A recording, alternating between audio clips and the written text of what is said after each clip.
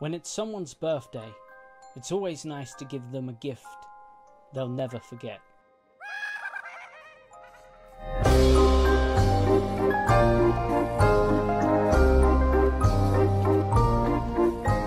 When you present your spectator with a birthday card with a clown on the front, imagine your surprise when you discover not only is it not their birthday, but there is no longer a clown on the front. But being careful not to destroy the fun atmosphere that you've created, you offer to take a photo of them holding a red balloon and their birthday card. Then you draw their attention to the poem on the inside of the card, but before they reach the end, they get a huge fright. Have a read. Read it out loud to everyone. It's a little poem.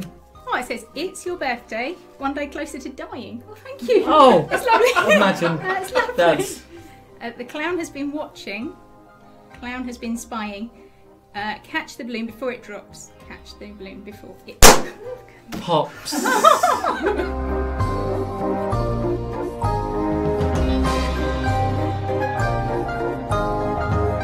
all leading up to the final, when they look back at that photo that they took and staring back at them is the most horrendous clown.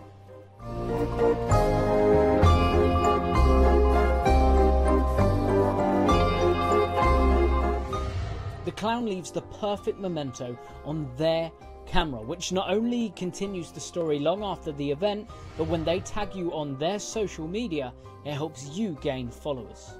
The clown comes in three different creepy designs voted for by the general public, meaning you can guarantee scares. Introduce your spectators to the ultimate party guests. Introduce them to the clown.